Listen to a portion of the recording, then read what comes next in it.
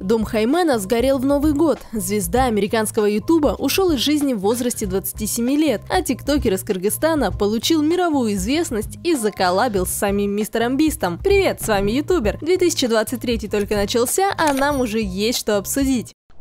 Блогер-миллионник Хаймен, известный своими экспериментами и челленджами, лишился дома прямо в канун Нового года. Ранним утром 31 декабря уральские СМИ стали писать о том, что в одном из отдаленных районов Екатеринбурга горит трехэтажный коттедж. Площадь пожара достигла трех сотен квадратных метров. Чтобы потушить дом, понадобилось 7 единиц техники и 35 пожарных. Причина возгорания до сих пор неизвестна. Я не знаю, как как и что говорить про это, но сратый Новый год. В 5 утра соцсети Андрея взорвались от комментариев. Подписчики писали, что дом блогера горит, но Хаймен спал. Пока ему не позвонил друг и лично не рассказал о пожаре. Приехав на место, блогер обнаружил, что коттедж уже потушен, но оптимизма это не добавило. Когда я приехал в дом, то сперва мне бросилась в глаза загоревшая крыша и три пожарных машины. Я верю в лучшее и поэтому считал, что сгоревшая крыша не такая уж беда. Но дальше я узнал про сущий кошмар. Дом оказался залит водой. Пол, потолки и стены покрыты грязью и гарью. Коммуникации повреждены, а дорогостоящее оборудование безнадежно испорчено. Дело в том, что сгоревший коттедж был рабочей площадкой для блогера и его команды. Именно там снималось большинство роликов, проходил монтаж и хранилась вся техника. Проблем добавила и погода. Из-за мороза промокшие вещи буквально за несколько часов покрылись внушительным слоем льда. На этих кадрах я смотрю на собственный дом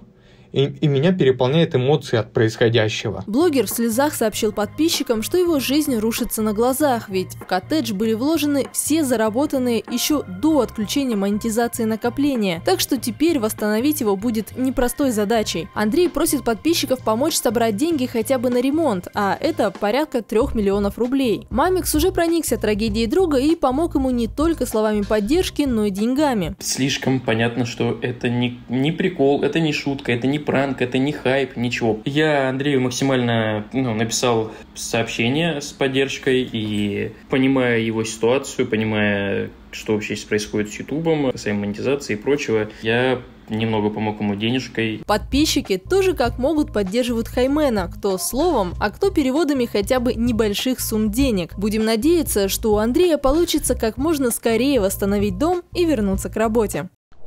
Конец 2022 запомнился и другим печальным для благосферы событием. Накануне праздников умер звезда американского ютуба Кинан Кэхилл. На заре развития видеохостинга этот парень взрывал тренды своими видео. Hey guys, this is Keenan Cahill. Кинан Кэхилл родился в США в 1995 году. Мальчику был всего год, когда ему поставили диагноз мукополисахаридоз шестого типа. Это редкая наследственная болезнь, при которой многие ткани и органы увеличиваются, воспаляются или покрываются рубцами рубцами, в конечном счете истощаясь. В случае Кинана заболевание привело к тому, что блогер стал внешне похож на людей с карликовостью. Это, однако, не помешало парню стать популярным ютубером. В 2010-м Кинан получил известность благодаря вирусным роликам, где он подпевал популярным песням. Первой звездой, чью композицию исполнил блогер, стала Кэти Перри. Спустя год парень уже выступал с ней на одной сцене. Hey it's Katie. I absolutely adore you. Другие знаменитости тоже оценили видео Кинана и толпами повалили на его канал. В первые годы блогер успел заколабить с 50 Центом, Джастином Бибером, Арианой Гранде, Коди Симпсоном, Марун 5, Майком Тайсоном, актерами сериала Гли и другими западными звездами. В 2013 году Кэхилл выпустил собственный сингл, а позже стал диджеем и продюсером. Также блогер был приглашенным гостем в шоу «Топ-модель по-американски». За время своей карьеры Кинан выпустил два мини-альбома и более десятка синглов на iTunes. Однако болезнь не переставала о себе напоминать. Еще в возрасте двух лет Кэхиллу сделали пересадку костного мозга и ряд операций, чтобы замедлить прогрессирование заболевания. Это помогло, но блогеру требовалось постоянное лечение. Пациенты с его диагнозом часто сталкиваются еще и с различными формами заболеваний сердца. 15 декабря Кинану как раз предстояла операция на открытом сердце. Менеджер ютубера рассказал, что после нее начались осложнения. Кинана подключили к аппарату жизнеобеспечения, но это не помогло. 29 декабря блогер отключили от системы, и он скончался. Кейхилу было всего 27 лет.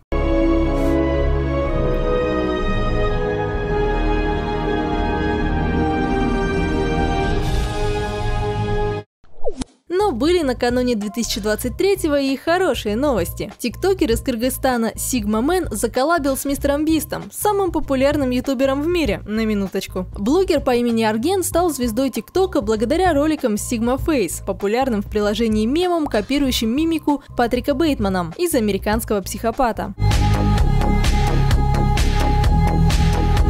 Свой TikTok-аккаунт парень начинал развивать, публикуя различные скетчи. Уже тогда он смог набрать 4 миллиона подписчиков. Но как только Арген решил переключиться на Sigma Face, число его фолловеров всего за несколько недель выросло в три раза, до 12 миллионов. Самое популярное видео на канале при этом набрало 125,5 миллионов просмотров. Буквально за пару дней 2-3 э, миллиона подписчиков добавилось. Ну, за 5 дней где-то. Ну, ощущение классное. Среди подписчиков блогера оказались даже самый популярный тиктокер планеты Хаби Лейм, ну и само собой Мистер Бист, который не упустил возможности записать с Аргеном коллаб. Хитрый ход конем. Сейчас парень находится на пике популярности и делится с подписчиками своим секретом успеха. Три видео в день снимать надо. Угу.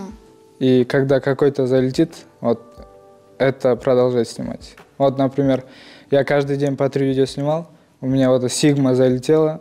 Вот, все, теперь я сигму продолжаю. До тех пор, пока она не закончится. Вот. Берите на заметку и создавайте свои тренды. А на сегодня это были все новости. Не пожалейте для нас первого в новом году лайка. Будем рады такому подарку. С вами был проект Ютубер. Увидимся в следующих видео. Всем пока!